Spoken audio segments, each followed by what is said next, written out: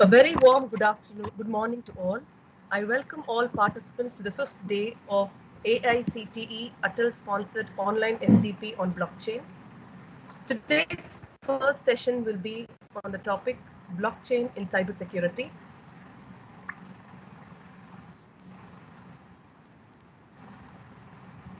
Our guest speaker for this morning will be Mrs. P.R. Lakshmi Eswari, Senior Director and Center Head, CDAC Hyderabad. Mrs. P.R. Lakshmi Eswari is presently working as Senior Director and Center Head, CDAC Hyderabad. She was involved in R&D in e-security, focusing on end system security, embedded security, mobile device security, and blockchain technology. As an outcome of R&D efforts, solutions such as application and device control, USB, Pratirodh, apps, browser, JSGuard, eCover, etc. are developed by that. She's associated with CDAC in various R&D projects, solution development, and capacity building initiatives. Earlier, she worked as lecturer at NIT Warangal for two years. Over to you, Mrs. P.R. Lakshmi Eswari. Thank you, ma'am. So hope uh, the screen is visible to all of you, right?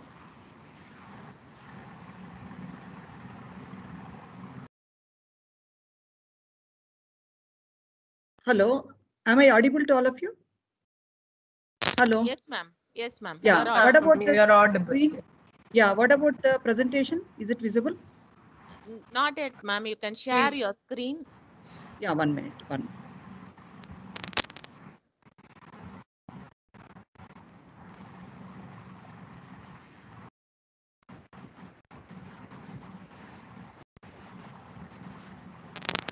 Now it is Is it visible, ma'am. Yeah. Yes. Yeah. Fine. Thank you. Thank you. Okay. Right.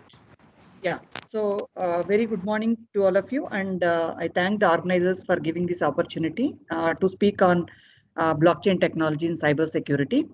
So I think I have some one hour, 15 minutes or uh, up to uh, 90 minutes duration. So uh, what I would be covering is like, uh, see, the though I talk about the various uh, use case of blockchain technology in cybersecurity. So the uh, flow would be something like first we try to look at some importance of the technology, then uh, how like actually the security aspects have take, uh, taken care by using some cryptographic uh, techniques and all in the blockchain we also uh, try to look at some of the, the real world applications which are developed by using blockchain. So our experiences would like to share in this. And uh, we also talk about uh, the, the relevance of this particular thing in the cybersecurity domain and also uh, with respect to the IoT. Okay, this would be my overall thing. So uh, in case of any uh, like uh, issues or anything like that, you please uh, uh, put forth immediately. Or else if any uh, doubts are there, like you can just put in the chat, we can discuss later. So let me tell about our organization. Uh, Center for Development of uh, Advanced Computing is a scientific society under Ministry of Electronics and IT Government of India. It's a premier R&D organization. So uh, located across India. So our headquarters is at Pune. Uh, we work in uh, different uh, thematic areas, HPC, high performance computing, professional electronics, uh, the software technologies. Um, uh, we also work in a lot of latest techniques like IoT and other things. Cybersecurity, blockchain, these are uh, the, the two mission domains along with other areas. So we work in research and we develop the usable solutions, also contribute toward the skill-based, uh, the training programs and other things. So coming to this, uh, the blockchain actually, like see, uh, uh, though we have an understanding, we I always like uh, to give some overview of, on the technology first. So I think uh, we all know that uh, there is something called as a Bitcoin. Okay, so from which actually we learned something about the blockchain technology. So when we look at the, the cryptocurrencies, the idea is to have the digital money uh, to be created or to be transacted without the involvement of the middleman. That, that's the basic idea. Without going through the banks and other things, we would want to have kind of technology to be built. So which will help us to create as well as the transact the digital money. That's very that's a basic idea. Now the question is how the trust is going to be enabled if there is no the trusted party like banks and other things like that. So that's where actually the blockchain technology is utilized. So which is trying to uh, provide that kind of the trust to us, right? So now this is the technology through which we try to uh, pro provide this kind of thing and on which uh, the, the, this particular Bitcoin or the cryptocurrencies are built. Okay. Now, before we go to that, uh, what exactly is this kind of thing, uh, the blockchain or something, we'll try to understand first. So let me distinguish uh, now something between the middleman as well as the trust protocol. Okay. Now, whenever, whether you talk about uh, physical systems or uh, we computerized those systems by uh, digitalized or automated the systems, in all cases, mm, we have a trusted component. Maybe, okay, in the normal scenario, what happen is the trusted entity like banks or SROs, if the uh, computerization is not done, we will put all the transactions after verifying the customer details and other things like that, that uh, the bank balance and other things like that, the, the transaction details and other things might be uh, put in the ledgers and the physical copies. Whereas the same thing, if I talk about automated systems like computerized systems, the role of the, of the banker or the, the, the legitimate person, centralized entity so through the his credentials, he will enter into the system and uh, he will try to put it in the database. So, but that's all, whether it is a digital ledger or whether it is a physical ledger. So we have a ledger on which we try to put the transactions re related to the this particular activity. It's a bank or it can be a, a land registration means they have own ledger where they try to keep the details about the transfer of ownership from one person to other in this particular case, the transfer of money or whatever it is from one to the other. Okay, like that. So irrespective of whatever is the application domain, we have middleman okay component where we uh, it is helping us to establish the trust, verifying the identity in the transaction, clearing and settling of transactions, keeping record of transactions. So the ledgers are maintained. Okay, so this is something like uh, which uh, normally a trusted entity is going to do. Now, what we are trying to look at it is whether we can think about a technology which is trying to provide this kind of trust.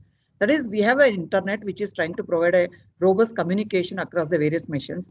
On top of that internet, whether we can have some kind of technology built on that, so which will try to provide this kind of trust. So instead of depending on the, the middleman. So let the network itself implicitly try to enable this kind of trust. That's where actually the trust protocol concept has come into picture. Here in a distributed system, the massive collaboration across the systems uh, the peers or systems is going to provide this kind of trust. So it is a decentralized control. There is no middleman. All the machines involved in that are going to provide this kind of trust. And how this is provided? So it's basically a combination of different technologies, distributed peer-to-peer -peer machines, uh, consensus algorithms, and uh, the cryptographic techniques, and some kind of um, computer uh, protocols which through which you can try to provide the agreements. Like that, the combination of all these things are uh, packed together and these kind of trust protocols are built. Okay, so that's a the something which we need to have an idea before we talk about the blockchain.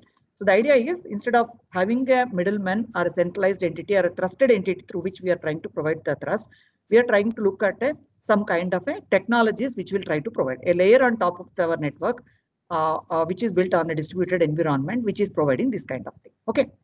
Now, this is the way uh, centralized distributed ledgers work. So we have a clearing centralized um, uh, ledger. We have some kind of a central body, uh, trusted party, which is trying to clear, uh, maintain and interact with all the things. Whereas in a distributed manner, so every entity is equally good and everyone is going to maintain the, the ledger, nothing like a centralized entity. Okay, these are the kind of thing. what is this blockchain? Blockchain is a kind of trust protocol. Okay, so it is an open distributed ledger that can record transactions between two parties efficiently and in a uh, verifiable and permanent manner. Okay, so that's the basic thing. So it's an open distributed ledger. So whatever transactions which we carry out, which are nothing but interactions specific to the various applications and all, they all are, go, are going to be recorded on a distributed ledger. Okay, it is not on a one machine, it is across the various machines we are trying to maintain this particular thing. So which is trying to put the details in efficient and verifiable and permanent way. Okay, you can verify at a later point of time. It is a tamper evidence is something okay where you can verify and say whether it is a original one or like that. So every it is distributed and every node maintains a local copy of the database and they are identical. Okay, so this is something. So now uh, when you talk about distributed systems and other things like that, so we know that over the period a lot of research happened and um, the lot of stabilization happened in terms of commitment, uh, consensus. See what, what happens is there can be um, uh, some kind of faults in the networks the some uh, uh, maybe may go down, some net, uh, machines may go down, or some may end up into a malicious thing. So we should not accept the false state. Okay, so the correct state has to be replicated ac across all the things. For that, over the period, the various consensus protocols and all have built. Okay, and also how do you identify when you don't want to have a trusted entity and all? How do you verify the this thing? So we should have a strong protocols for authenticating a person, uh, securing the communication, the privacy aspects, I don't want to reveal the anonymity has to be maintained like that. All these things are packed together uh, over these particular distributed uh, systems so that this kind of distributed ledger concept is created. Okay, so blockchain is a technology. Now what happens in this particular case is the client initiates the transaction. So maybe one, uh, the person is trying to uh, send some money to the another account or something like that. So now what happens is when the particular uh, transaction request comes, so every node will involve in the verification. So what happens is every node has got a history or the previous state. So every node has got the previous state. So this particular state um, is uh, helping uh, every node to verify whether this transaction can happen or not. So once the verification and other things happen properly, then uh, the we have by by different consensus mechanisms or whatever it is. So once the validation and all is done, the one node will take the responsibility of adding that particular thing to the local database. If you notice here, the database also has a unique way of representation. The data structure which is used in the blockchain is nothing but the chaining of different blocks. So here when we look at it, the data structure is made in such a manner that no one will be able to tamper the record. So someone I cannot go in between and try to uh, uh, change the, the intermediate blocks and other things like that. So that is not possible. Okay. So this kind of uh, the uh, thing is done and this particular state is replicated across all the the nodes in that particular network. So these are kind of the way it is going. So what happens? So I think there is some noise actually. So uh, consensus in blockchain is established uh, uh, using the, the blockchain with a, a, few two important things.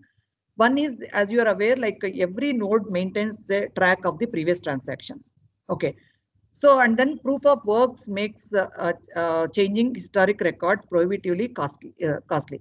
The thing is actually, so everyone cannot go and try to do the changes or anything like that. So they have to uh, execute some challenge. Then only they'll be given the the privilege to uh, update the transactions and nothing, which is very very tough. It is very costly activity. So that is something. But um, if you talk about a permissioned blockchains and all, though we don't have proof of work, again there is a some permissioned uh, entity only will be able to do that kind of thing okay?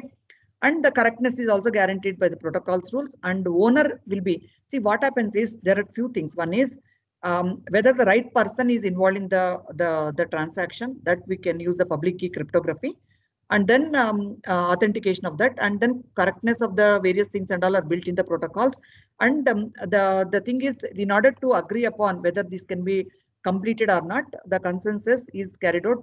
Every node will involve in that uh, verification process where it will look at the, the state of the previous state and the current uh, the transaction details. Okay, so from that it will try to tell whether it can be carried out or not. And above that, by using proof of work, you are trying to uh, add the the node into that, which uh, cannot be done by everyone. Okay, so that this kind of mechanism is used in the blockchain for that particular thing. Now, if you look at it, so overall, near real time, see now in, when we have some particular uh, human involvement or a trusted entity, what happens? There can be some de delays actually to complete the transaction. So whereas here it is going to happen in the re near real time.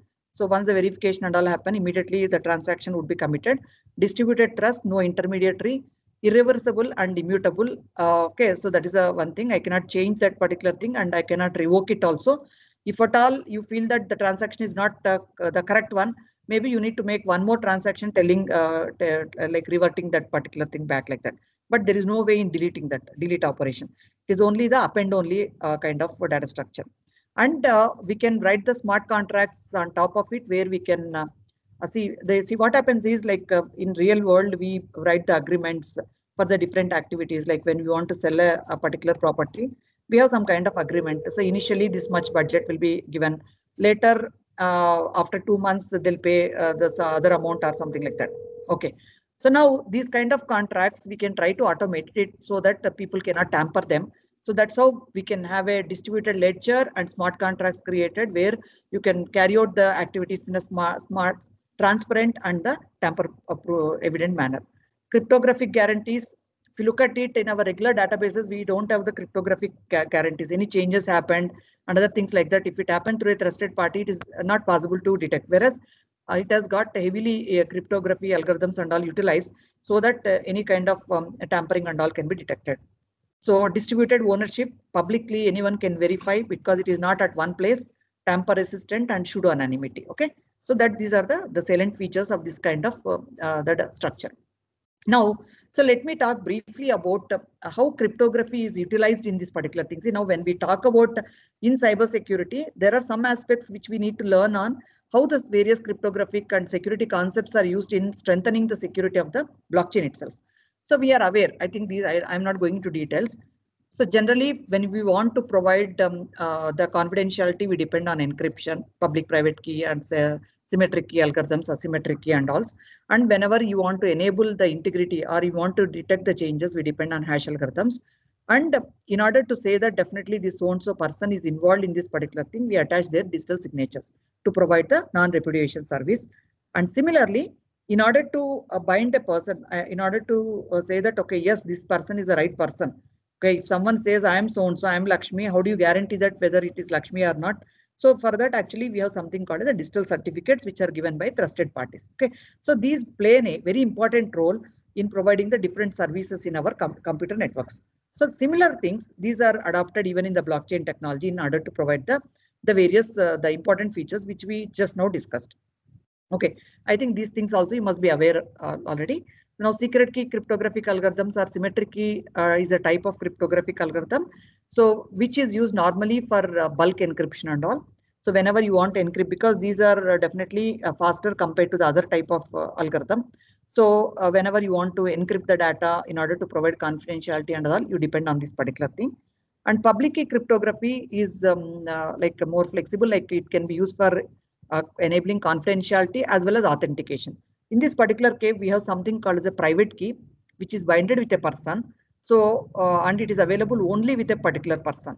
So now this particular component helps us um, uh, actually in order to authenticate a person. That's how this particular cryptographic algorithms are used normally in order to even authenticate the, the end user or the transaction. So then third thing is in order to check for integrity and all, we depend on the hash function. That's how in network security, we heavily depend on these three types of cryptographic algorithms. Okay, so now uh, I don't go to the symmetric and all because for bulk encryption, whether it is a transaction or something else, if you want to provide encryption uh, to provide confidentiality, we can depend on that. So coming to the public key cryptography, uh, we will use two types of keys, private and public. Public is something which is given to everyone. Okay, you can share with all. And private component is uh, something which is available only with the owner. Okay, so when we encrypt with the private key, we'll be able to decrypt with the public key of the key pair. Similarly, if we encrypt with the public key, we'll be able to decrypt with the private component. So the, the appropriate use of the key will help us to provide with, to enable whether confidentiality or authentication like that. Okay. So by encrypting with this particular private key, uh, some component is encrypted with the private key and later you can verify with the corresponding public key. This concept is used in the digital signature in order to provide the authentication of the sender and all. Okay.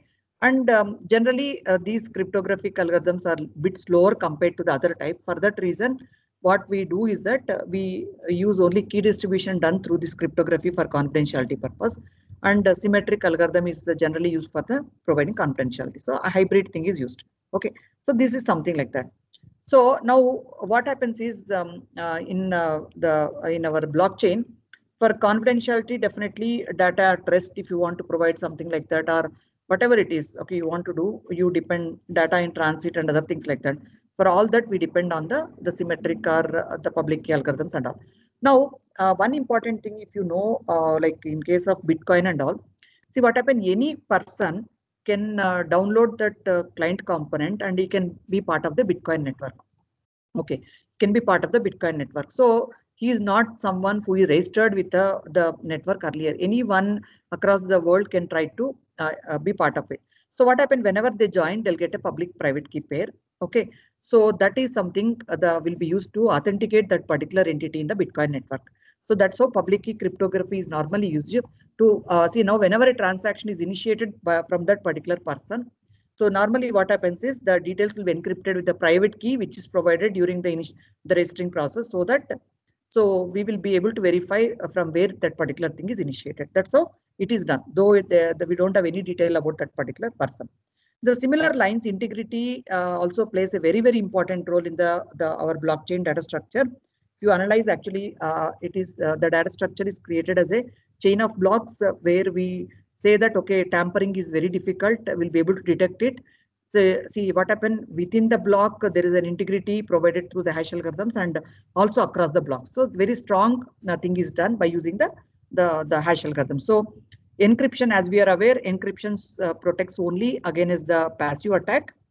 Whereas, uh, so if you talk about uh, the this uh, hash algorithms and all, they'll be able to detect this kind of uh, the what is it active attacks. Okay, passive in the sense someone can silently try to listen to the communication and uh, later they can try to decrypt it. Okay, not uh, in the real time kind of thing. So whereas in real time, I am going and changing some of the byte sequence or something in the, the network sequence that I'll not be able to detect with the encryption. Whereas for that, we require the other type that is nothing but a hash algorithms, the third type of the cryptographic algorithms. So what we do in this case, so at the sending end, we'll try to uh, compute some signature or a fingerprint for the communication, whatever we are trying to send. And then uh, that signature, we will try to attach and send it along with the message to the other end. So at the other end, once again, when you come compute that particular signature for the message, whatever is received, and then we'll compare the one what is the, the sent by the sender as well as what is computed. If both are same, then we say it is uh, intact. Otherwise, there can there is some changes happen. Okay, that's all the integrity we are trying to provide through the hash functions. So we know all these kind of things Generally, uh, like hash function map any sized data to a fixed size value. So like, for example, if I have a string X, which is some kind of message, and um, uh, any some kind of number, which is giving uh, the kind of, uh, what is that, uh, the range of the hash values it can generate kind of thing. Okay, so hash function will try to give, when you apply, pass it through that particular message, along with this uh, X and N values, actually it will try to give you the value. So this is something which is going to be a unique value. Okay. So which is giving the fingerprint of things. So these algorithms should be very, very powerful. So here it is a, just a modulus operation. So this may not be the right uh, thing. It is not a cryptographic hash. It is a general hash which we are trying to explain. But cryptographic hash functions are very, very powerful. So where uh, we don't have any collisions, if, if there is a slight change in the the x, okay, you end up with a different uh, hash value. That's why we'll be able to detect the changes in the uh, the the message. Okay, so any size data, whatever you give as input, it will give a fixed size signature. And uh, these cryptographic hash functions and all there, uh, the uh, when we compute this, so uh, it is very difficult to get back uh, the the original message uh, given a hash value. Okay, so there it's a it, you can, cannot carry out the reverse operation. Okay, once you have a hash value of some particular message, there is no way to get back the no deterministic algorithm is there to get back the original message. And for two different strings, even if it is a slight change in the input message, you end up with the two different hash values. That's how we'll be able to detect the changes. So we have his SHA and uh, MD5, and there are very, very powerful uh, algorithms available presently. Okay. So now here, uh, just an um, this thing, simple uh, this thing to understand this. So just see here, so input uh, is in the blue colored or uh, kind of green colored box. When you pass it through the cryptographic hash algorithms, you are in, ending up with a message digest. The third pink color boxes are nothing but the message digest or the signature of it. Now you see that the input box size is varying. It's uh, just a fox. Second one is something else. Third one. So slight difference is there in the, all the input. They are passed through the same hash function. So, but you look at it, the output uh, is a fixed length.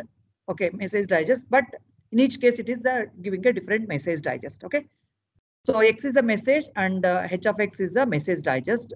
That is, yes. And if you notice here, uh, the second input and um, something like that, red fox and other things like that is there, blue dog and see here OVER and OUER like that. There is only one character change in the second and third boxes, but still there is a lot of change in the message digest. Okay, so it's not that, okay, message dice gives there some slight change because of only one character change in the input message. It is not like that. So that is the beauty of these things. A small change in the data uh, results in a significant change in the output. So that's called avalanche effect, which is given provided by this kind of uh, the cryptographic hash functions. Okay. So this is heavily used in the this thing. And uh, as I told you, two messages, even if there is a slight change, they end up with the, the different message digest. So that's how they're colli uh, collision free and hide the original message. See, even there uh, only one character when uh, there is a change, altogether it has uh, lead to a completely different message digest. So that's how we are able to hide the original uh, details actually. And uh, you just see here, actually, you must be aware of a kind of mining puzzle which is used in the Bitcoin proof of work. Okay, so whoever want to uh, acquire the privilege of trying to add a block into the blockchain, so they need to solve some kind of puzzle. So if you notice here, that puzzle um, actually is uh, trying to use this kind of hashing itself. Something like that. If you notice here, just see here, hash function uh, is applied on x r'd with k, or concatenating x as well as k. These are the two inputs, and you are applying hash on that to get the y value. So uh, if the puzzle is something like given x and y, okay, uh, can you and you know the uh, can you find out the h value? Uh, sorry, k value is the puzzle. Okay. Now, as we are aware, like uh, there is no deterministic method. So only through some kind of brute force and other things, we need to try uh, explore all possibilities, which is the computationally intensive. The that's where actually the people, unless um, they are very keen on that particular thing and all, they have the infrastructure, everything, they'll not take up part. So that's how only the the space whoever uh, uh, have this kind of uh, facility, they'll be able to do that. And when they uh, complete this particular thing first, they'll be able to gain some kind of the bitcoins and other things like that. Okay, so that's how. In case of proof of work, they have to show this kind of uh, uh, this thing results where they will try to solve a challenge and then they'll gain the um, uh, privilege to uh, add the block and involve in that particular thing. Okay. So now if you notice here, why I'm trying to bring out is, so in the, the blockchain technology, this even for the puzzle, uh, this thing, a mining puzzle also is uh, again dependent on the hash algorithms itself. So SHA 256 is used in the uh, blockchain. So 256 uh, bit message digest is generated. And as you are aware, so uh, as part of SHA-2 group of uh, these algorithms, a set of cryptographic hash algorithms are designed by the NSA. Okay, so we have different things which you can. So earlier we have SHA-1 and other things like that. But uh, currently looking at the, the competition infrastructure, it can be easily broken and uh, collisions are detected in that. That's how we are uh, recently making use of this SHA-256 and other algorithms. So now, uh, what's the purpose of uh, this uh, digital signatures? If you see that, like in this particular thing, as I told you, see confidentiality we achieve with the public key cryptographic as well as the or symmetric algorithms, both type. And as you are aware, hash algorithm is used to check whether any tampering happened or not. And uh, the third important thing is we need to find out the origin. Who need to find out the who is the right person involved in the transaction in the blockchain network. So for that, we try to depend on the, the digital signatures. Okay. So what happen is that whenever a, a particular entity comes into becomes part of the blockchain network, they'll be provided a public uh, private key pair. So now what happened whenever he initiates uh, any kind of uh, transaction, he is going to um, encrypt that particular transaction details, hash of that particular transaction details with the private key so that uh, in everyone in the network can verify that yes, it has communicated from this so and so. Okay. So what is the digital signature? So only signing authority can uh, sign a document, but everyone can verify. That means if I have public-private key pair, so if I uh, the I have the authority to sign as Lakshmi, right? So I will use the private key pair, private component of the key pair and sign a document. So other uh, entities in that particular group will be able to verify with my public key and say yes whether it is from Lakshmi or it is uh, tampered or initiated by someone else. So that will be able to verify. So this is again used in the in our uh, the blockchain. And what happens is along with the transactions, whatever is initiated by the client, the signature of uh, the transaction also will be sent. Generally, we use signature of document and all. It can be anything. It can be um, the transaction of a blockchain or anything like that. Signature is associated with the details and then signature of one document cannot be transferred to the another document. So another person cannot um, uh, take that particular transaction and later replay telling that, okay, I have initiated this because private key is something owned only by that particular person. So that is how digital signatures are also used. And one more thing, in order to uh, um, like identify a person, we have the very important thing like a digital certificate concept. So where uh, we have a certification authorities who try to verify the credentials of a person and then try to issue the digital certificate. So generally we get the public keys from the digital certificate. So this is another important component to get the public keys. Okay. So uh, we use normally for a distribution of public keys, public key certificate consisting of public key and user ID of the key owner is signed by a uh, trusted third party. So this trusted third party is a certification authority. So what uh, we try to understand till now is that what are the uh, the basic cryptographic techniques and other things so which are normally used in the the design of the the blockchain. So this just gives some idea about um, uh, the details about a digital certificate. Uh, it can be owner's public key, uh, owner's name, expiration date, name of the issuer, serial number, digital signature of the issuer, X.509 format. Okay, the the standard uh, through which the the protocols and all our PK infrastructure and the digital certificates are created. Okay, so these are general details. Okay, and I think uh, uh, every one of us are also aware of crypto nonce uh, as well as the timestamp. So nonce is basically an arbitrary number which we use it in our uh, the protocol messages. So the idea is actually to avoid the replay of the protocols and all. We try to depend on these kind of things. Okay, some random number uh, and also to avoid the replay. And along with that, the timestamp is also very important component in our protocols which helps again for the the to to uh, with, at what time the event is recorded and to it helps to prevent the replay attacks. So all these amalgamation is used in the, our this thing. If you notice actually see the basis for the blockchain data structure is something like this. See if you notice this is a simple linked list if you look at it. We have some data uh, in one block di, di plus 1, di plus 2. Now we want to link all these things and make sure that um, see as a sequence you want to maintain and we don't want anyone to tamper this kind of details. So what we are trying to do is that along with this particular DI, we are also trying to store the hash of the previous block's uh, hash value, DI uh, minus one hash. Similarly, the entire DI hash we are trying to store in the DI plus one. Similarly, DI plus two has got this particular thing.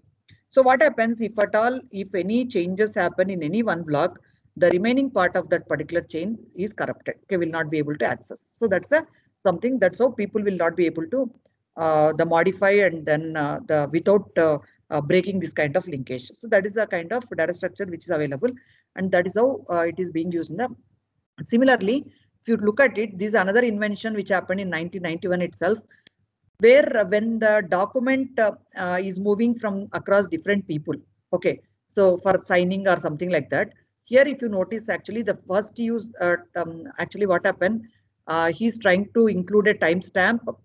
Okay, so is there is serial number? So the client who is using, what is the client ID, timestamp, uh, what is the time at which he's doing, and the hash of the previous uh, whatever digital data, whatever is that. The entire thing he receives, and again he compute the hash.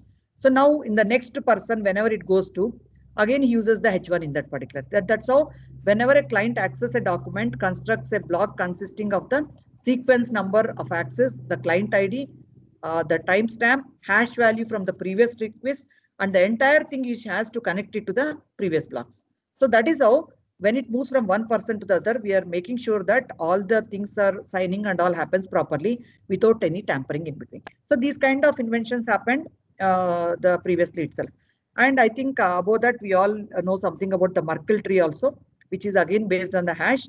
So whenever uh, the uh, just by storing one hash value, you want to detect the the changes across the the different documents okay that is possible with the merkle if you notice that these are the four documents. We are computing the hashes. Ma'am one second then, yeah. sorry to interpret you.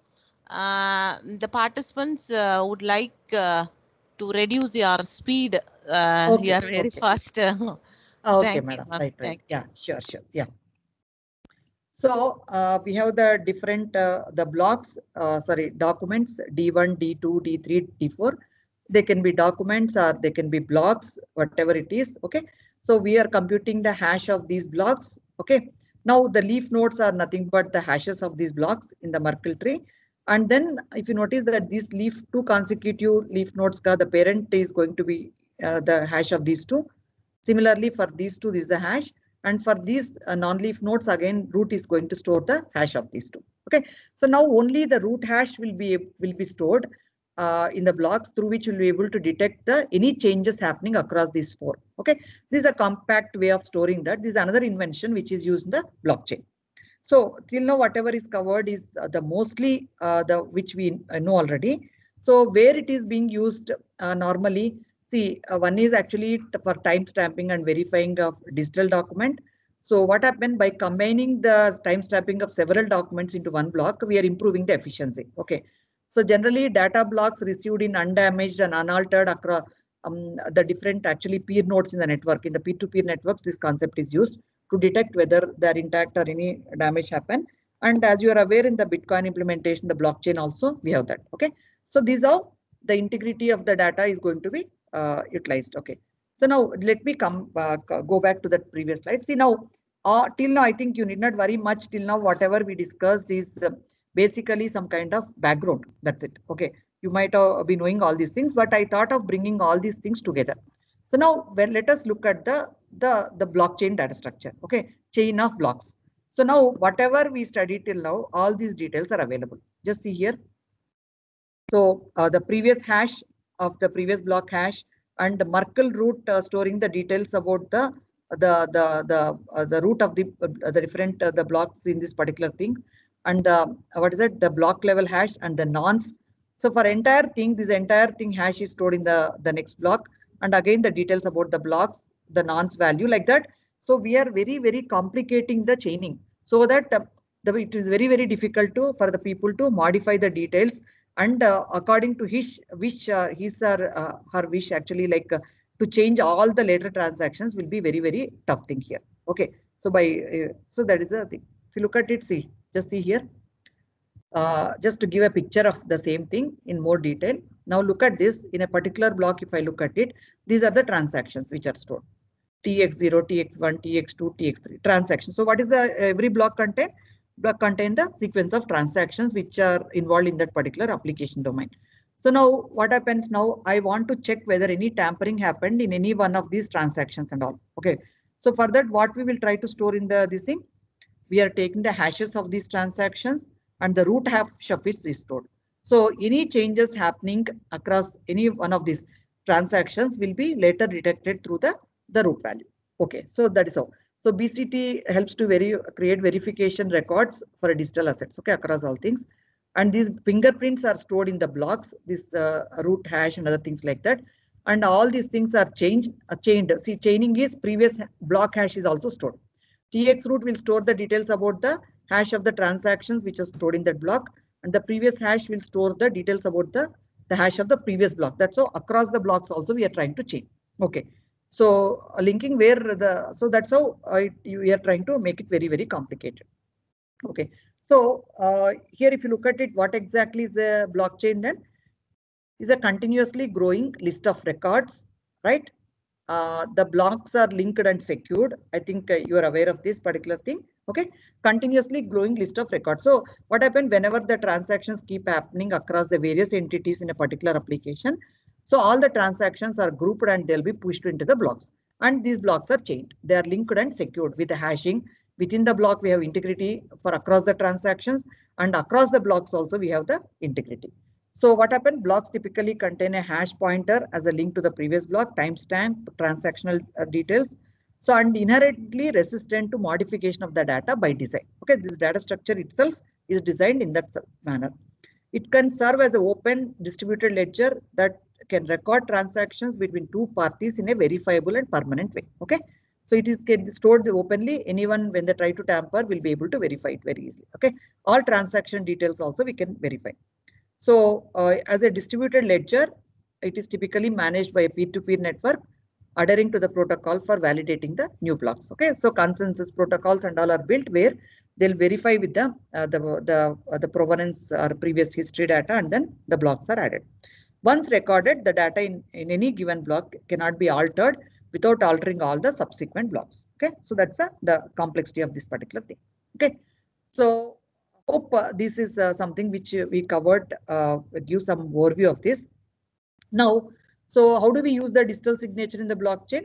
So let us say uh, there are two people uh, Alice uh, uh, want to involve in under some kind of transactions. So what happened when Alice um, initiate some kind of transaction? What is required is the other people in that particular network has to check because everyone has to verify uh, whether it is really from Ally. All nodes are involved in the verification. So what happened? We need to verify that particular. That's how uh, the digital signature is created along with the transaction of that particular Alice. So what happened? Used to validate the origin of a transaction. So prevents non-repudiation. So someone cannot say tomorrow that I was not part of the transaction. Okay, you'll be able to prove, yes, definitely it is initiated from you because the data is verified with the public key of Alice. So definitely it would have been done with a private key of Alice. Okay, so Alice cannot deny uh, that her own, uh, it is not her transaction. No, and at the same time, no one can claim Alice transaction as their own transaction. So that is how it is done. Okay. So and Bitcoin internally uses elliptic curve digital signature algorithm and other things like that, which is based on the elliptic curve uh, cryptography supports which supports good randomness key generation. Okay. That's all the digital signature concept, which uses the public private key internally and uh, public key encryption as well as the hash algorithms. All these things are used towards this particular thing. And for chaining purpose, we depend heavily on the other hash algorithms. Okay, and I also told you along with that, in the uh, basically in the uh, uh, permissionless blockchains or public blockchains like Bitcoin. So uh, what happens is actually uh, whenever a, a, a, block has to be added or anything like that, then actually so uh, we need to uh, uh, solve a puzzle and gain the privilege to uh, come acquire that particular thing. Again, for this the puzzle representation also we try to depend on the hash algorithms itself okay which i just discussed some time back okay so some known components some components are given and unknown entities given and which cannot be deterministic uh, so easily. So for that we depend on the some kind of uh, the brute force kind of thing investing heavy computation to generate that particular thing. Okay? So just a, a search puzzle is one example is like this. Uh, m and z are given and uh, provided and k is supposed to be calculated. Okay? Some details are given. Some which has a uh, sequence of five uh, zeros or some value like that is given and a z value and people need to compute the k value. So so that's all. So this uh, kind of things are used uh, uh, in case of bitcoin mining. Okay? That's how the the hash algorithms are used in the the the mining part. Okay? So what i discussed till now basically trying to talk about the what is the importance of blockchain technology the idea is to provide a enable a, um, uh, the trust layer on part of the our network. Okay, by using the existing technologies, a combination of different technologies, and avoid the intermediaries. Okay, a distributed network is enabling the trust. How it is done? Uh, a combination of the distribu distributed uh, uh, ledger concept uh, is basically distributed uh, networks, the P2P networks on top of it, cryptographic algorithms, strong correctness con consensus protocols. All these things are combinedly trying to provide this. Okay, and the, the details are stored at every node rather than uh, trying to talk about a the centralized entity. Okay, and then later we talked about uh, how cryptography and various uh, the the security things are used in order to provide that kind of strength in the blockchain. Okay, so it uses public private key. Okay, uh, one is to authenticate the end and construct the digital signatures. Also hash algorithms are used.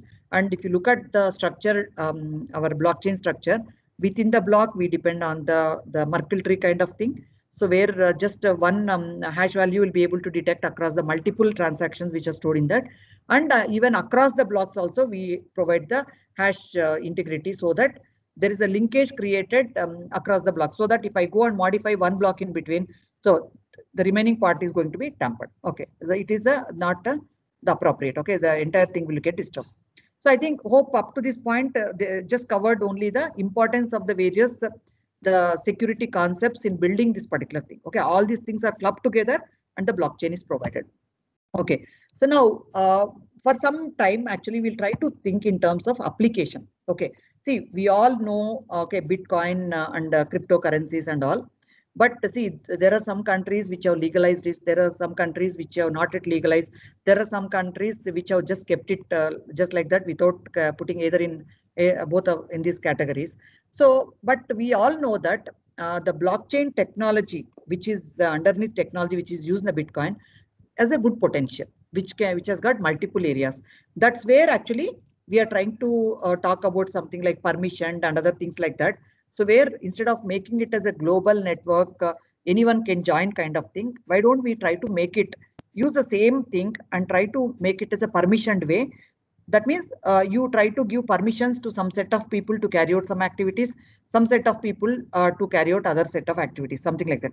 Whereas in case Bitcoin network, every user has the same privilege. They can um, append, they can read, all the things can be done by all. Whereas in the permission, you are trying to use it in a restricted manner, but the in a distributed uh, way the data structure also will be utilized. So why don't we try to look at uh, that? See if you, that's the basic idea. So that I will try to cover for some times. That is also equally important. Okay. Now, from this, it is very, very clear that uh, these are the important characteristics of our blockchain. Transparency, we don't have any uh, central entity where we are trying to store.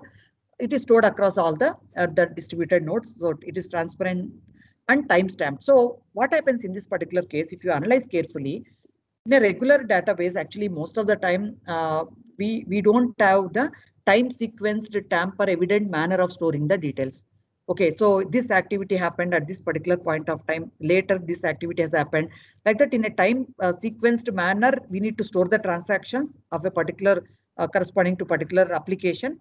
And any change, see, uh, these are all uh, uh, chained together in the time sequence time manner so that it will help us uh, in a appropriate manner to verify or do any kind of thing. Okay, that is a, another thing. Immutable, you cannot modify them and no single point of failure because you're, it is distributed across the different nodes in the network. Irrevocable, I cannot say that uh, uh, I, I want to change this, it is not the right thing and all kind of thing. You cannot revoke any transaction and it is programmable. Okay, that means on top of it, on top of the trust layer, we, we can uh, try to build, automate the contracts. Okay, rather than the contracts which are happening on a physical paper and a stamp paper, something like that, we can try to code them. Okay, and even if you analyze the smart contracts, whatever we talk about, they also can be stored in a tamper-proof manner. People cannot modify that, that's another beauty. So, so that is how you can easily uh, take the the representation of a data in a distributed manner and agreements also you are trying to automate. So this is something very, very important in real world in various applications other than cryptocurrencies. So, so again, what is the value addition of integrating blockchain? If you see that building trust, okay, I think uh, you might have uh, getting clarity of all these things, but anyway, I'll go quickly. Just you look at the bottommost uh, this thing, building trust improves transparency and accountability. Yes, it's very accountable. I am involved. My digital signature is the one through which uh, I'll be sending the transaction accountable. Transparency because uh, the system is not a single entity and it is distributed. Speeds up transactions because um, human component sometimes will delay the things where a system can do better. Protecting sensitive data, reducing cost and improving the efficiency. Okay, so definitely the, these are the uh, some of the benefits. So I think uh, the immutability, trust, data integrity, transparency, track and trace. You can trace the things. Okay, uh, associated with because with the the time sequence manner you are trying to put all the details in the the thing that will help. Okay, highly resilient um, distributed with multiple shared copies of the data exists. So if any one node uh, is brought down through malware or something, we can easily recover from the other nodes. So this is something very, very important. Now tell, uh, let us look at something like this. So now uh, we all know that um, uh, about the cryptocurrency. Now what is the purpose? I, I want to look in other things, how effectively I can use it in providing a better service to the citizen like that. So it facilitates the process of recording transactions and tracking assets in a business network. Okay, see, it is something, uh, it's a technology which is trying to give some business value that we should understand the asset can be what is the asset? It can be it can be a house. How the ownership changes from over the period from one uh, the this thing.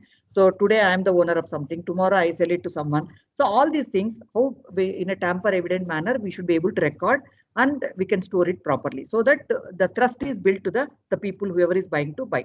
So it can be a tangible thing like car, cash, house or land or intangible like property, intellectual properties, patents, all these things like copyrights, we can try to represent it.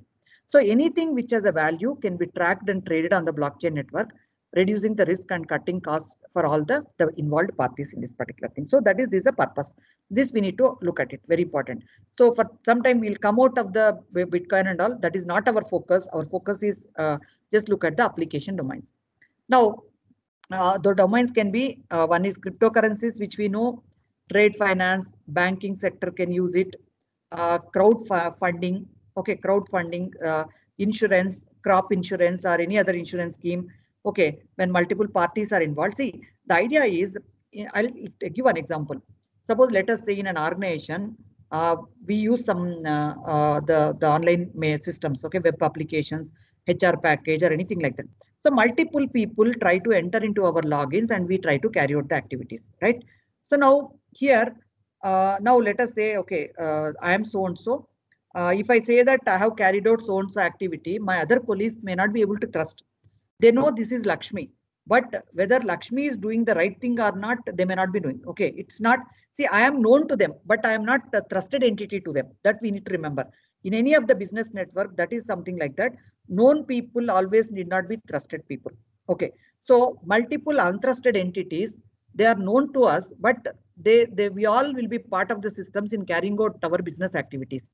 So that's where actually the the value addition of the blockchain when multiple known people or unknown people whatever it is so when they come together so the in order to uh, keep track of the various activities of those things we try to depend on this kind of the blockchain or protocol. So that's the some beauty of this one. Always known people are not trusted. That we need to remember. Okay. So that's where i don't trust. I, I may know be i may be knowing uh, the other person but we cannot trust in the business sense. Okay. So so for there that where the system is trying to the help us actually the system. So i may be very good uh, to him but i may be sharing some other details with other people. These kind of things can happen. But i should be able to track all those things. My system should be uh, doing all that activity. Okay though i am not revealing to the person. That is something which is very very uh, important um, with respect to that the blockchain which is supporting. So that's where it has um, this particular value addition is helping us uh, to, to uh, use it in the applica different application domains trade finance, legal, real estate, Internet of Things, IT, cloud storage, healthcare, supply chain, like that, anything you sort of it, it has got a value. Now, this gives some idea about the scenario within the country. Like, see, looking at the potential, government of India has definitely identified this as one of the important thing to improve the citizen services and other things like that. And and also at the state government level, every state has started the various initiatives. Okay, each and every state has started. So I will just take it up some example. If you look at like AP is talking about blockchain database, cyber security, uh, healthcare, land registry, vehicle title registration. So these are some of the applications they have looked at. And Tamil Nadu, agriculture, healthcare, education, some of the areas. So Kerala is talking something about farm insurance application and agriculture supply chain. And Telangana, if you look at it, land registry, okay, and chit funds operations, okay, chit fund activity where a lot of fund money is involved and microfinancing uh, for SHG groups. Okay. Uh, and then digital education certificates like that. Every state has identified some of the potential applications which can be uh, uh, implemented using blockchain. Value addition will be given through blockchain and they have started the various uh, uh, POCs and all. If you look at it, the top three use cases normally across what we have seen is the land registries one, farm insurance and digital certificates. These are some of the, the top use cases. Multiple people have realized the importance of this and then uh, people have done it. Okay, this is some idea about so where people are trying to use this kind of technology. Okay, now what I will do is that I will spend some time. Hope the speed is okay now or uh, I should reduce it further down. Is it fine, madam? Yes, ma'am. Fine for me. Okay, fine, fine, fine. Yeah. yeah. Okay. So what I will do is that I will I will talk briefly about one uh, use case because one or two use case because this is very very important. Okay. So uh, blockchain based solutions which uh, one is which I will like to definitely happy to share with all of is a property registration management system. See, uh, this actually see it's not once we are clear with uh, the importance of the technology, what kind of problems we are addressing in a particular domain, definitely we can try to look at uh, the how good is this technology for that particular domain and we can definitely see the uh, what value addition it is giving and all. Okay. Now let us uh, look at this. But first the most important thing is what is the problem in that particular domain which can be addressed with the blockchain technology? That's the foremost important thing which we have to look at it. So otherwise they see just like okay new technology is there so uh, we can use it um, for this particular domain means that may not be relevant. It may be a kind of overhead. Okay so if it is uh, not going to serve the purpose. So first, most important thing what we had done when we talked about property registration is trying to look at what are the potential challenges in this particular domain. Okay, irrespective of the state, whether it is Tamil Nadu, uh, Karnataka, AP, Telangana, whatever it is, then then the public domain, okay, in the uh, the newspapers and other things. So we keep looking at some of these challenges, right? So we see that okay, the, some double registration of a land happened Okay, someone has produced the fake documents for registration or some kind of insider threats. Okay, some known channel itself, some database modifications have happened. So leads to displaying unreliable encumbrance with the modified details. Okay, that that means the un, uh, unreliable, the owner name, property details, and other things like that. So now these are some of the publicly known the the potential challenges and um, uh, the which day to day uh, we keep facing not only in India across the globe. You look at it, um, uh, this is the one of the the challenge everyone is facing. Clear. Now, so what we have done is like um, after that we try to look at how uh, we can try to how the blockchain whether it will help or not one thing is see uh, after we take up this particular problem again uh, we should not end up in kind of uh, okay whether it suits or not and other things like that so but one thing uh, based on the minimum understanding of the technology we found that so the tamper evidence and other things fake documents and other things because the technology strengths will be able to address this kind of thing that's how we started. Another thing is see why we took this particular uh, problem statement is that see the property lands are uh, all these kind of things no they are high valued assets okay? Whether houses or lands and high values assets and less number of transactions taken place takes place on day to day basis it's not that okay in a second some thousands will happen like a credit card transactions or something like that. it is not like that. So very less number of transactions happen and it is a high valued asset so that is the reason we thought okay so even if you are spending more uh, budget on this particular thing it's not a overhead. So it's very very critical. And also because performance issues and all may not be there at this stage because the transactions number of transactions are also less. So that's how we started. Now uh, tell me like if i if i ask you so in a property registrar, office sub registrar office or something like that they have to maintain a ledger that we all are aware to keep track of the change of ownerships and all. Now what should be the the features of ledger which a property registration office has to maintain? Definitely you all agree that these are requirement. So electronic ledger should be reliable, time-stamped, tamper-evident, and providing non-reliable proof of each transaction. Each transaction, we should be able to prove, yes, who is involved, whether really it happened, all these kind of things. And people should not tamper. And one more, uh, whenever I want to buy some property from other person, I'm interested in knowing the, the link document. That means encumbrance thing of who are all the previous owners. All these things I should not gather from the previous documents dynamically it should happen implicitly from the, the data, the ledger itself. It should help me in trying to link all the previous owners and give me the things immediately. Okay, that is another thing. And uh, the ledger should be high availability of the ledger. See, because tomorrow you should not say the system is down, I'm not able to do it, uh, the kind of thing. It should be distributed. And in case of any failure, malware attacks or some other things, DOS attack or something, data should be recoverable. So definitely we try to understand the problems and we found that okay these are the important requirements of a the the ledger electronic ledger which is maintained for property record now whenever you take up any problem domain you need to analyze carefully. Okay what is my domain? How the data related uh, to that particular transactions of that asset uh, need to be maintained? Okay so what are my requirements? These kind of things are very very important before we proceed further. Okay so now uh, that those were the desired features for property records. Now, what is the benefit it is giving by integrating blockchain in existing system? So uh, by integrating blockchain, as we try to, because all the transactions are going to be put in the different blocks and we are chaining them together. So what happened, it gives implicit chaining of transactions is itself is one advantage because some most of the time the title history is often incomplete. That means who is the previous owner and other things. We have to sometimes we end up with issues and we investigate and we keep inquiring and it will take a lot of time. So whereas here the, the blockchain uh, which is giving the single source of truth is trying to give all the details to us and possibility for malign parties to involve in corruption. Okay some see what happened normally there can be some people may try to change or tamper some details. But here what happens is because of the audit trail which is stored in the blockchain in different blocks the there is a tamper evident uh, details. Okay we we can uh, check there. And it is distributed and vulnerable to anyone trying to modify and all it will not be possible. Okay so these are some things which we found definitely it is an important.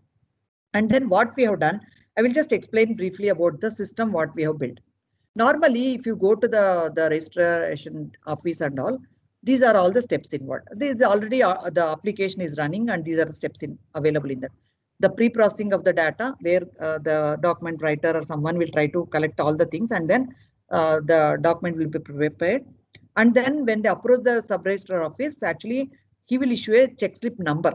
Okay. So check slip number, what he will do is first he will try to check. See now what happens in our country basically whenever uh, there is a change of ownership from one person to the other is SRO will look at the documents brought by the vendor and vendee.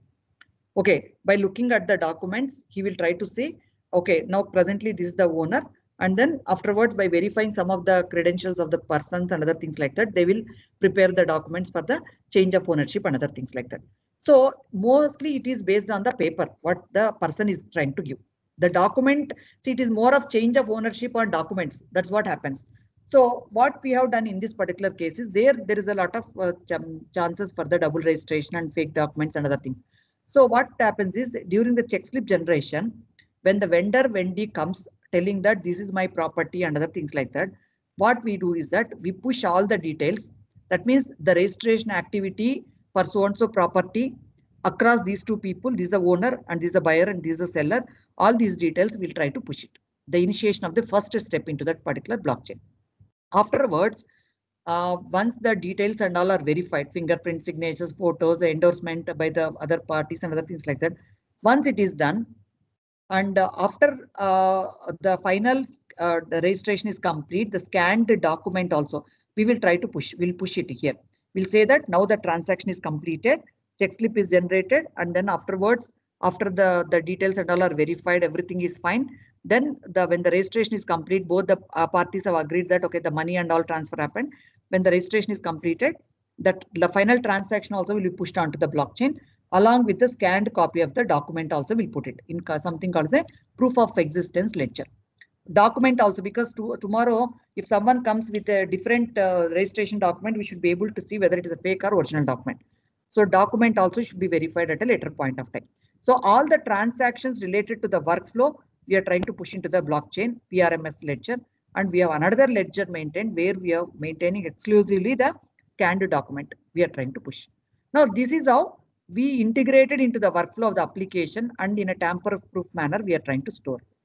See, the idea is actually we don't want to disrupt the interface to the citizen because what happens whenever a system gets disturbed and a new system is deployed, there will be some resistance from a person to use that.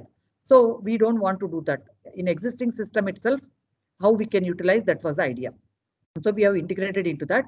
And for a citizen, uh, whenever you want to know like uh, who is the owner, so and so property you want to buy. So who is the present owner and all, uh, the details will come directly from the blockchain now. Okay, so when the property details are given, you'll get it directly from the blockchain, not by looking at other details. So that's the beauty of this. And next time when uh, a, when a person comes with a document, SRO also will use the details. Sub-register officer will uh, use the details from the blockchain to verify whether it is the right document and all. So that is another advantage of doing this.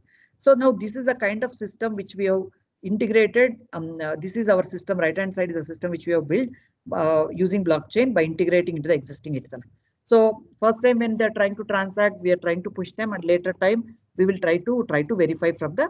So that is we are helping the SRO to verify the things and also citizen to get the encumbrance search. So this is something.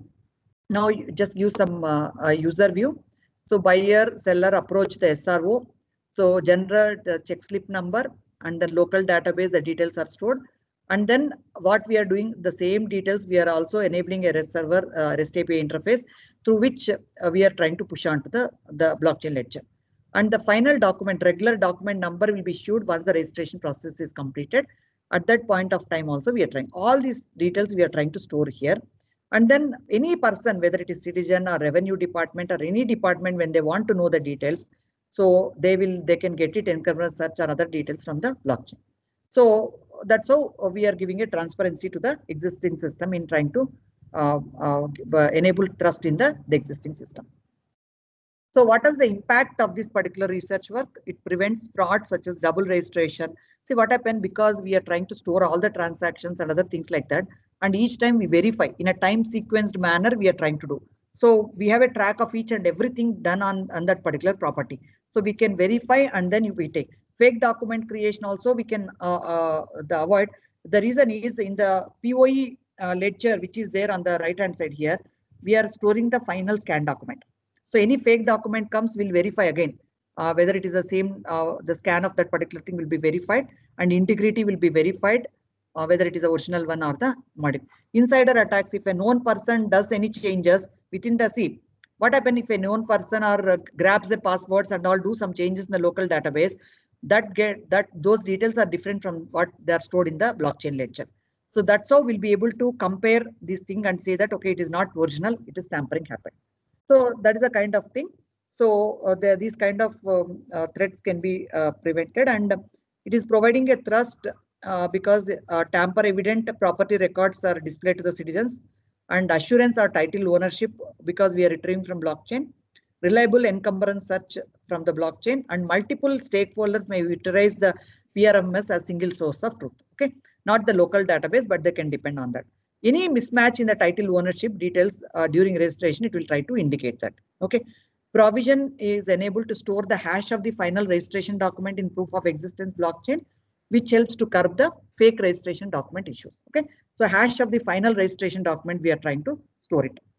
So that is one thing. So I think hope uh, you got some idea about uh, how we try to address this particular problem. So if you look at the innovation and novelty, uh, the title ownership verification was not done. It is based on the document it was done. Now we are trying to do it based on the details from the blockchain. Okay. Internal attacks, any changes in the modification, we are able to detect because with the blockchain. Encumbrance search, all the previous owners, it is manual. Now it is automated and tamper evident database centralized now it is distributed on the blockchain and it detects double registration and fake document creation okay so post it is able to detect smart contracts see now actually one uh, the most important thing is though we have not done now the future for this particular thing is vendor vendee can directly uh, communicate and uh, carry out this kind of transaction through by building it smart contracts on top of it once we enable the proper smart contracts set up um, on the blockchain they'll be able to carry out and then complete the registration process. And we can even say that I need not go to a particular sub-register office only. So anywhere uh, registration also is possible by using this kind of things. Okay. See, just to give an idea, because this we have deployed in the Shamshabad SRO, and it is for from 2019 January onwards, live transactions are happening uh, for the property records in that. And uh, recently we won this SKOCH Governance Award, okay, gold for this particular solution. Okay, so that is a brief about one use case. How we see the most important thing is what is the problem which you want to address and uh, the suitability of the blockchain for that particular thing. And what is the desired feature uh, in order to solve the problem, whether blockchain provides or not. That analysis is very, very important before we really go to the uh, selecting the technology to carry out that. What is this proof of existence solution is after we worked in this particular the property registration, what we felt is actually uh, proof of existence of something uh, using blockchain itself is a very, very important uh, techno solution. Like, for example, we keep uh, hearing some news about fake degree certificates, fake property records like that. Okay, so what happened? The fabricated or fake documents are generated, uh, whether it is mark sheets or degree certificates. Sometimes the employer may fail to detect such kind of things. Okay, so colleges also are not able to help in this particular thing because without their knowledge, some things must be happening. So how do we address this particular problem? Okay, so if you look at these, not only the, the with respect to the degree certificate, something like birth certificates or the death certificates or li licenses or something like that. How do we identify whether they are original or the, the fake kind of thing? So what is important in such systems, we should have the document management system should be able to transparent and they should be able to handle this in a secure manner and efficient so that uh, all these kind of fake things can be avoided. So how do we do that? We should be able to uh, the existence of that particular content at a particular point of time, who has generated it, we should be able to verify, and the content of the document we should be able to verify. These parameters are very, very critical in order to address these kind of problems. For that, we have built something called as a proof of existence blockchain. What it will do is that irrespective of the document, uh, whatever it is, hash of the digital artifact and timestamp, time at which it is hash is generated, these details are going to be uh, stored on the blockchain. Okay, so recording the details, these details are stored on the blockchain. And later, see now what happened whenever you generate a certificate for a student or something, you will try to record on the those details onto the blockchain. And then uh, you issue the, the certificate and along with a link uh, where it can be verified. Okay, so what happened? The verification link can be utilized by the people, employer or any other person. So that they can if I through the blockchain, they can verify whether it is a right thing or not. So allows verification digital artifact hash not tampered and um, at that point of time whether it was existing or not that we'll try to verify. Okay. So this is something like process involved records the hash of digital artifact and allows verifying. So document hash uh, you'll issue a receipt uh, which you can share with the various agencies. Okay. So from that receipt actually they can uh, pass it through the blockchain and verify whether it's uh, the same content of the other. So we have multiple ensures document integrity, overcome the limitation of Okay, so a lot of things uh, can be done through this particular thing. Okay, now this is something which we have worked with the educational um, thing and converted into a full-fledged system so that uh, colleges and all can make use of this particular thing. So where all we can use, uh, these are uh, death birth certificates, employee service records, driving license, MOUs, exam results and student certificates, sale deeds, log management, health records like that. So discreetly, I want to store the, the certificates. Okay, so that I can uh, use in the POE blockchain. So coming to the this thing, uh, what is the benefit of using? See now uh, there are two things. One is uh, the security of blockchain uh, or security uh, concepts which are used in implementing the blockchain technology that we try to understand in the previous slides. So where we see we saw that hash algorithms, digital signatures, and how it has made it robust and secure. Now the thing is, what are the application areas of blockchain technology in the cybersecurity domain? where we can utilize this as a one of the application areas. Okay. Now we keep hearing, right? Let's see. The, I think every problem may not be solved, but let us see that what are the potential use cases people are uh, across the globe are trying for this particular thing. So uh, one is actually the, the, if you look at it, see general these all uh, the cyber attacks have evolved in complexity and sophistication since 1988 with the Morris worm. Okay, so I think um, over the period we, we are able to see that a lot of things happened. Uh, today we talk about multi-stage attacks advanced persistent threats and zero day attacks and other things like that. Um, where actually uh, we don't have any signatures with us right now in our uh, packages. And uh, before any uh, solution is built uh, the people are trying to the, use the unknown vulnerabilities and trying to exploit okay and crime casting to uh, the big global economy. Okay, this kind of uh, the crime is uh, costing on our infrastructure. Okay, so now these are all the things which we are trying to do. So blockchain technology in cyber security, let us understand that importance. That's more important. So as cyber crime is becoming more sophisticated, the source so too is the field of the cyber security. So as the crime is growing, people are also trying to use advanced technologies in strengthening the security. Okay, efforts are made to protect the computer systems and the information from various. So continuously efforts are uh, being happening to protect our computer systems and data okay, from various threats. So blockchain definitely can become very common in enabling the uh, cyber security in the near future. So now the question is why, why and how. Uh, these are the, the questions. Okay. So now what happened? Blockchain can provide the transparency and auditing. Okay. So as we are aware, like transparency and auditing features will help us. So in the, the cyber security domain, user identity security, transaction and communication security, and protection of critical infrastructure, so in all these cases, okay, we can audit, uh, audit data is important, transparency, all these things are very, very important. Okay, so that plays a very, very important role. The And um, another thing is like uh, now uh, many times when we purchase the various devices, so we keep hearing uh, this particular hardware has got a hidden Trojan or hidden malicious functionality, the backdoor, some uh, like uh, in the supply chain itself, uh, something is incorporated like that. Okay, these kind of things. So helps to realize more efficient and secure software development and supply chain risk management. Okay, now we can have a track of all the the the parties involved. If you try to onboard them onto the blockchain and then uh, make a process more robust through the blockchain data structure, then the supply chain attacks and other things can be uh, avoided and enables us to make the most use of shared online services whereas eliminating the potential uh, security and privacy issues okay for the various uh, shared online services so we can uh, make use of this particular blockchain to avoid the, the, various security issues. Okay, the transparency and auditing uh, play a very very important role. These two features with respect to the okay. So so so now definitely the the trust is resolved. Okay, so we talk about the trust also briefly uh, in the coming slides. So we have a distributed trust uh, available here and we are trying to in a tamper evident manner we are trying to store the transactions and then transparently across all the nodes, accountability because each and every detail with the digital signatures we are trying to store and in immutable manner. People are not cannot tamper. All these features are very, very relevant with respect to the, the cyber security. So uh, generally, okay, I, I just talk about uh, some kind of authentication requirement uh, uh, using which we try to build the various solutions and what are the gaps in the present authentication systems and how it can be strengthened using the blockchain. So as you are aware, so authentication is a process by which an account is confirmed to belong to or associated with a particular owner. I think we are all aware of. Okay, we just want to make sure whether so and so is the right person or not. Okay, for that we have we we have some kind of authentication process done.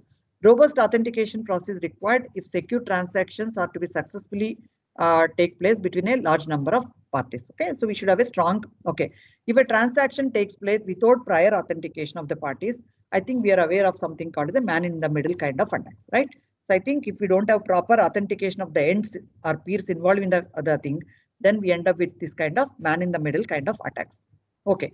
Now, normally uh, for managing, see now what happened, uh, if you noticed in the public key cryptography, so what happens is like when someone says that this is my public key, uh, we cannot trust because the man in the middle attack can happen in that particular case and some another entity can try to steal my details and project as Lakshmi possible.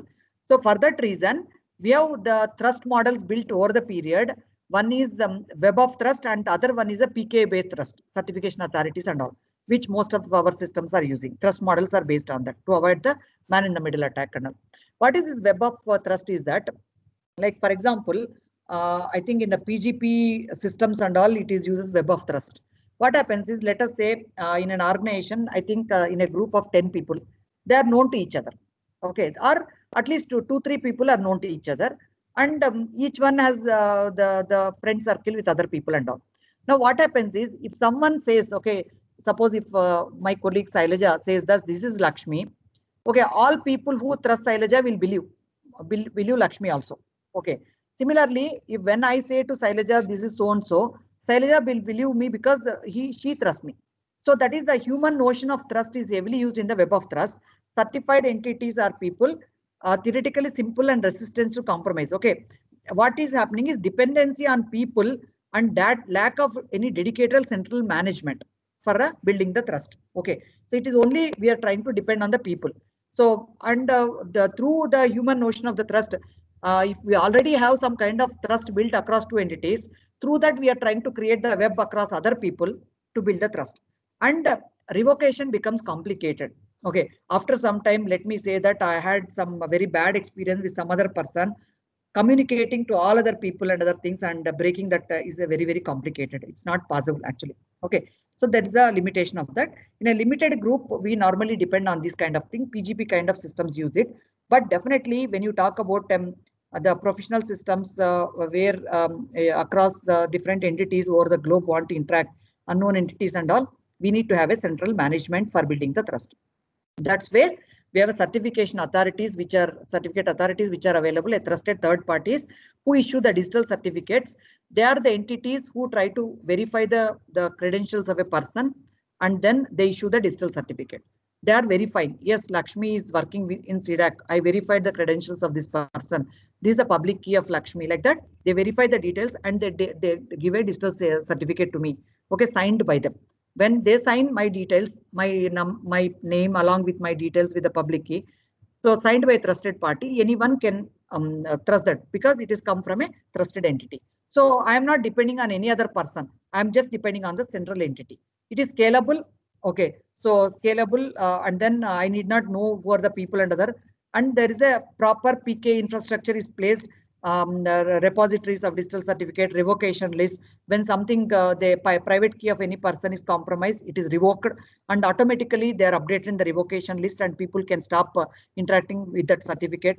And it creates, uh, but only problem is it creates a single point of failure which can which can have terrible consequences when compromised. Suppose if CA itself is compromised, CA certificate is compromised. So that's where we end up with some kind of problem. See, if you look at some of the news articles and all, you can see this can VeriSign the uh, the popular certification authorities across the globe. So Trustwave, Dizzy, uh, Notter and other people, they are issuing and all the things went on smoothly. But we have seen some of the, the cases where with a man in the middle attack or something like that, the, uh, the certificate got compromised and then um, the ended up into problems. Okay, that is a single point of failure with a centralized certification authority, something is a problem. That's where people talk about the blockchain based PK. Okay, a web of trust is not scalable, though centralized authority is scalable, but the problem is central point of failure uh, in the PK. Okay, CSR potential uh, issues. And we have seen that in some of these cases, if you go through the internet, you can see that uh, the, some of the, the, the attacks happened or some of the breaches happened with these companies actually. Okay, though they are well-known entities, uh, but still we cannot avoid that point. So blockchain has implicit transparency and auditable features and eliminates the need for central trusted third parties. Why don't we make uh, the PK infrastructure maintained in the form of a blockchain? PK can be maintained as a blockchain. Single computer is replaced by a group of connected computers, making it more robust and trustworthy. Okay, the PK infrastructure is uh, so one some of the ongoing efforts in this direction. You can go through this from the internet. Also, you get a lot of papers.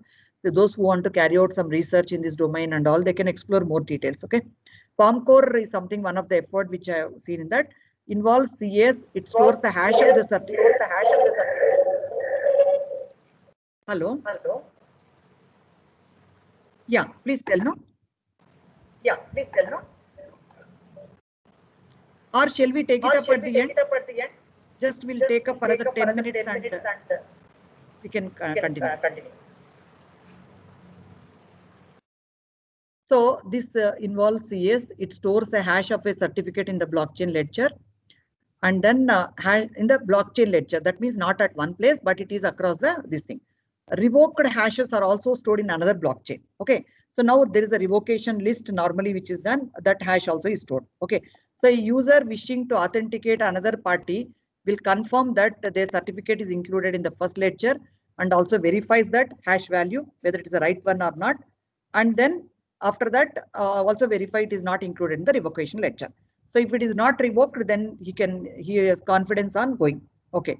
So that is a thing. And also they used heavily about um, the rich credential to identify a person with the private key, uh, password, biometric data, and other things. But it's very simple concept like, but we are, we are trying to depend on the blockchain ledger to maintain the certificates.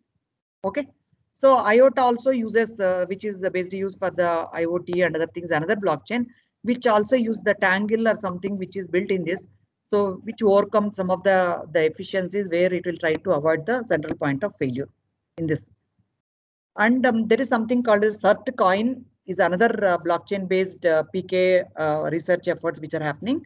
So what happens is that um, whenever, see now what happened, so whenever you are hosting some service, online ser service actually, so you'll be getting a domain name. Okay. So the domain name uh, along with the, the certificate of that particular thing. Okay.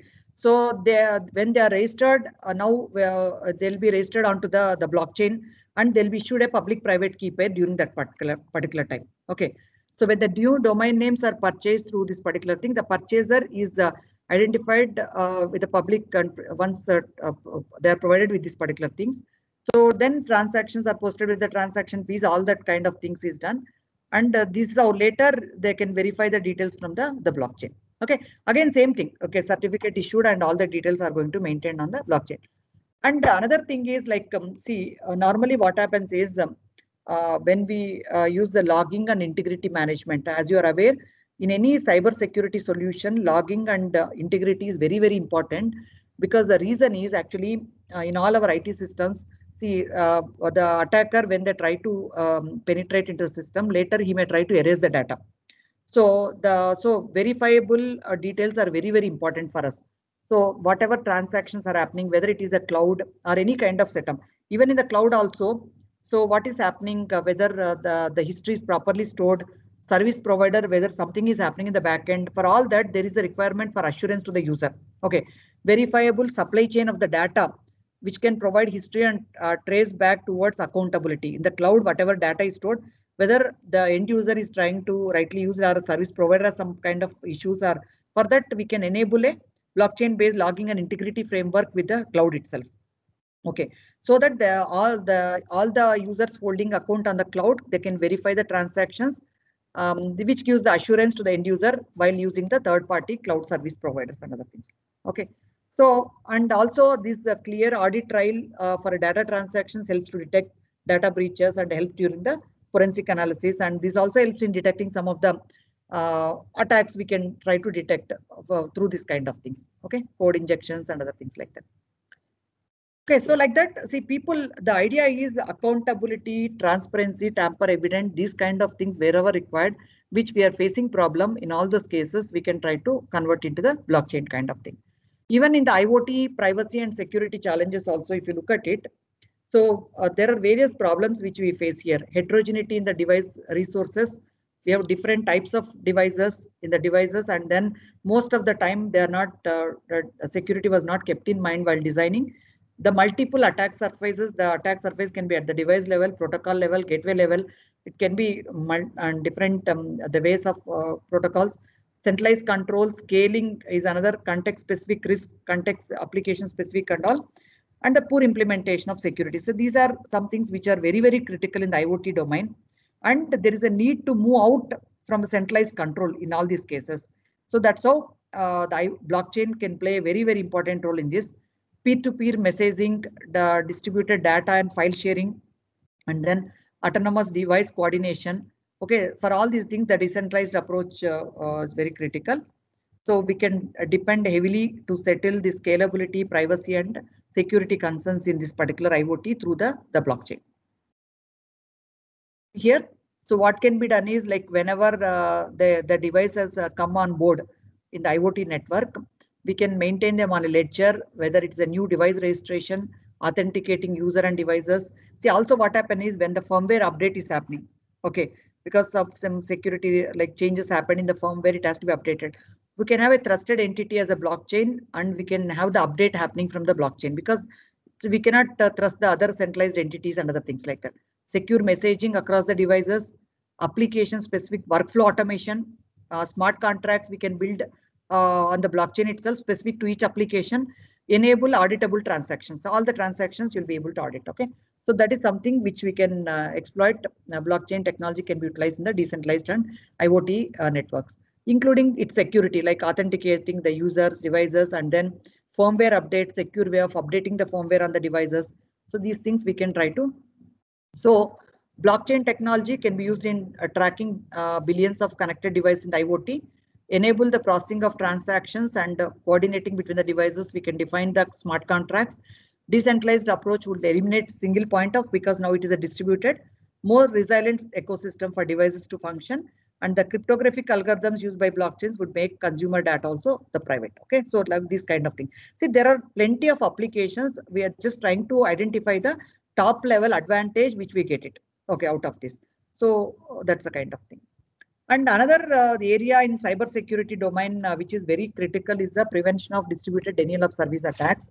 So most of the time, current applications and services use centralized servers that can re result in the denial of service. Okay, whether uh, results are hosted, there can be some DDoS attacks launched onto the uh, the suppose like uh, when the CBSE results are announced or NEET server NEET results are announced or maybe some kind of critical services when they are announced, people will try to bombard with uh, these things so that the services are not accessed by the legitimate people. Similarly, it can be online shopping, online banking, any can happen on any kind of thing. Okay, so if you try to maintain that particular thing, a decentralized platform allows users, um, so which can be a pool to allow for substantial greater amounts of data processing uh, reducing risk, uh, the risk of DDoS kind of things. Okay, decentralized platform can be built uh, in an, in order to provide that particular service so that uh, these kind of things can be avoided. Okay, so one possibility is uh, even on DNS um, services there can be a DDoS attacks launched. Some of the research efforts people have started is a distributed DNS. See now DNS sec and all will do uh, add some kind of security authentication and other things like that but it is not protecting um, from the DDoS or D DOS kind of attacks, DNSSEC features which are built in. Okay. So, and original DNS protocol was not having even that kind of thing. So now blockchain based DNS alternatives like uh, the some of the efforts which are happening in Namecoin and Blockstack, some of the efforts which happened. So this build decentralized DNS. Uh, so that uh, the, this kind of DDoS and attacks can it can prevent from those kind of things. Also, um, blockchain-based anti-malware solutions where um, update of uh, signatures or scanning of the signatures uh, can be done through a blockchain network. Decentralized firewall, uh, uh, where the firewall rules and other things they are applied through the decentralized network.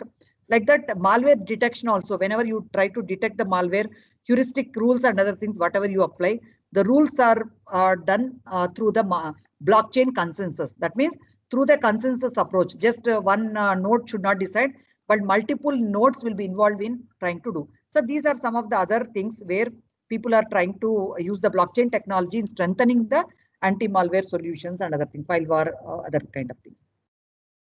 And uh, when I was talking about the supply chain attacks and all, uh, when we have foreign supply chains or anything like that, okay. So uh, blockchain based solutions can be used to secure the supply chains, all the transactions you can enable. So so that uh, the, we, we whenever we have the transactions available on the blockchain, we'll be able to carry out the audit trial and do some forensics to detect whether any malicious um, thing happened and all. Okay. So coming to this, uh, like definitely, uh, see, though my objective uh, is to talk only on uh, like uh, cyber security, but definitely uh, my I, I try to give some more details about the importance of the technology and what to be taken care. See, it is not something new, but whatever the cyber security we are trying to enable now, in that the some of the challenges uh, we can transparency and uh, auditability and other things that we can enable in a better manner by using the blockchain.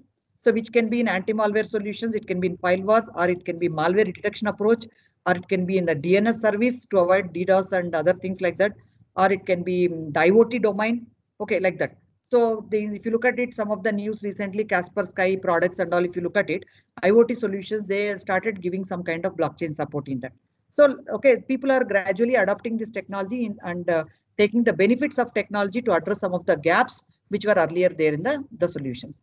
So, but definitely uh, security for blockchain, we should continuously keep upgrading because, um, uh, the, you know, like uh, people can target blockchain itself and uh, it can be hacked that has to be continuously strengthened and there are so many uh, blockchain platforms are available, Hyperledger Fabric, or Sawtooth, or Corda. So the uh, over the period, if you look at it, if everyone start using one platform, yeah, there is no synergy and there is no interoperability, it is a problem.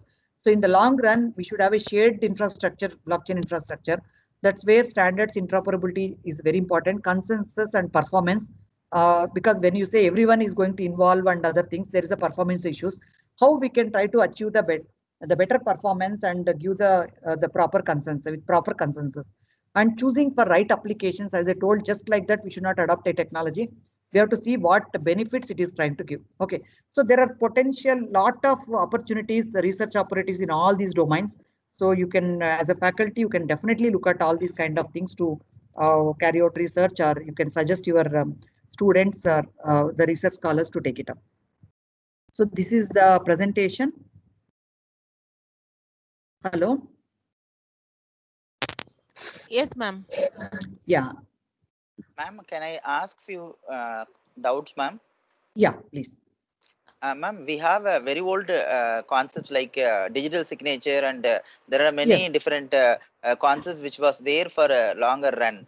And uh, Yeah, yeah. how do uh, how would you rate with respect to there are various schemes of the digital signatures and uh, to protect our document and uh, uh, if I go with Yeah, this blockchain, what all additional flavor I'm going to get? See, that's what I am telling you. All these are building blocks in creating the blockchain. It is not, I told you, it is an amalgamation of different inventions. If you look at the blockchain, Yes, it is not altogether a new thing. That's why when I initial slides, whatever I talked about, I talked about the relevance of each one. Digital signature is used, hashing is used, cryptographic algorithm encryption is used. All these things we know about distributed systems which are existing from long time. So the ama- amalgamation of all these technologies with a business objective. So that is something. Okay, it is, and you say that blockchain data structure. So hash chain, chaining of blocks is something. So all these, see, distributed concept and hash chain and digital signature to identify a person, all these things are clubbed together in order to provide a, the better value addition to this particular thing. Otherwise, they, it is not existing on its own in any way. You cannot say digital signature is there, why blockchain? Digital signature is one of the component in the blockchain. Component. All these are brought together to give a better value. Okay, distributed uh, this thing where distributed consensus is done rather than a central entity trying to do it. But underneath, we are using all these technologies. Okay, without digital signature and other things, this is not going to exist. Without the hash algorithm, this is not existing. All those things are important. Okay. Hope I answered your question. Yes, ma'am. Yeah, so just digital signature, will do it in a discrete manner. Uh, one more thing I'll tell you. So some may say, okay, I am anyway giving a digital signature to a document. I'll be able to verify the originality as well as the content authenticity and all. But here, if you analyze here, over an asset, the sequence of transactions in a time sequence manner, in an auditable verify manner, all that you are trying to capture across the nodes in a business network. Okay, that, that is a block which we are utilizing, but you are giving a more effective uh, access to the details and other things like that, verifiability and all. Okay. So one entity is doing, there can be tampering. Now all are involved in verifying and other things. So that's where we will be able to do a better uh, job. Uh, ma'am, as you mentioned, uh, DDoS attack. So Yeah, yeah. uh, how how well our uh, uh, the better approach will uh, really protect uh, all kinds of attacks like tampering and uh, other No, I'll uh, tell you one re- thing. rem- Yeah. Uh, see now when we talk about DDoS or uh, DOS attack, what is that actually happening? It is a threat again availability of a service, right? You all agree? res- resource. Yes, ma'am. Yeah, so, some service, it can resource or service, whatever it is. Okay, online banking service, there can be a threat, or online uh, shopping site can, can be uh, attacked Yes, with some kind of things like that. So you are stopping a person from accessing that service, right? Now, Yes, now suppose the service itself is uh, tried to uh, use some kind of blockchain kind of technology underneath. Okay, so now that that means it is not a single uh, centralized one, but uh, you are trying to make it in a distributed manner so that uh, people cannot try to put a DDoS or DOS kind of thing on that because it is not one machine or something. Okay, D, D, even uh, what is a DNS also not available as one Yes. server on which everything is hosted. It is available on as a distributed ledger. DNS service itself is available as a distributed ledger so that uh, you cannot attack. Uh, it's not one mission where you can attack. You can you are able to get it back from the other nodes in that particular blockchain. Okay. Yes, yes, ma'am. Okay. Anything else?